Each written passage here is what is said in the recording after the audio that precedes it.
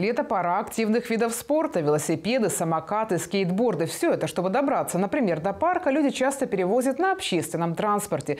В связи с этим мост Трансавто напоминает пассажирам правила перевозки инвентаря. Бесплатно можно провозить с собой снаряжение, размер которого не превышает 120 сантиметров, например, самокат, ролики или скейтборд. За более крупные предметы нестандартных габаритов уже придется заплатить. На провоз такого инвентаря и снаряжения действуют специальные тарифы. В автобусах городских маршрутов это 54 рубля, а в пригородных от 54 до 162 в зависимости от расстояния.